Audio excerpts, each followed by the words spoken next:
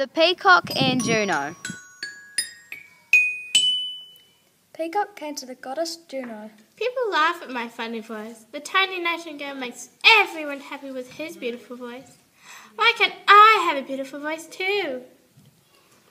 You should not be jealous of the nightingale. The feathers of your neck shine every colour of the rainbow. Your tail looks like it is covered in gems.